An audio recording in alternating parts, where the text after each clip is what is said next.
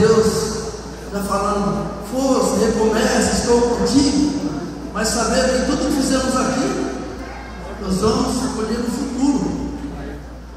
E que temos também que ter cuidado com que, da forma que interpretamos as nossas palavras, porque às vezes nós a interpretamos para o nosso bem, mas às vezes nós a interpretamos de uma forma que não é bom para nós. Mas a boa palavra, ela pode ser estudada, pesquisada, interpretada, pode ser cultivada. Nós podemos vigiar o que falamos também. Às vezes a gente cai em uma tradição, mas nós vamos aprendendo a melhorar o nosso palavreado. Ah, pastor, mas eu não tenho tempo. Mesmo que você não tenha tempo, meu querido, nunca perca a sua fé. Mesmo que você perdeu um colega, nunca perca o verdadeiro amigo. E saiba que este ano, este ano,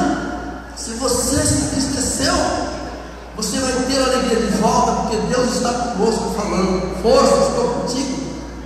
Eu mesmo me reparo, notei que o mundo está diferente, mas eu mudei no mundo. Aí você diz, mas pastor, para fazer tudo isso aí, eu tenho que ter uma motivação. Mas não, não, crente não tem que ter motivação, não. A gente tem que ter compromisso com Deus. Se você tiver compromisso com Deus, Deus vai ter compromisso com você. Está na Bíblia. Tiver compromisso com Deus, o Espírito Santo te dará a motivação a qual você está esperando e aguardando. Aí você vai para frente, você vai ter de 2018 vitorioso. É como dizer, que dizem aí, que o crente é como uma flecha. E quanto mais para trás te puxa, mais para fundo você vai. Mas se algo está puxado para trás, meus queridos, você se desvencilhe, que isso não é de Deus. Mas quando tu compartilhares o bem, não esqueça do próximo. Compartilhe a paz, o amor, a alegria, o sorriso. Compartilhe as roupas. Tudo que você for doar também, peça para Deus, até na sua bondade. Josué capítulo 9.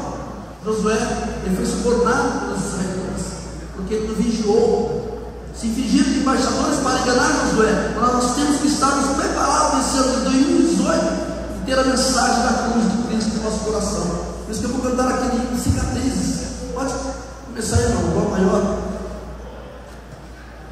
Vocês podem cantar conosco, vamos começar o ano meditando na passagem de Cristo que ele passou na cruz. Fechando, fechando, eu,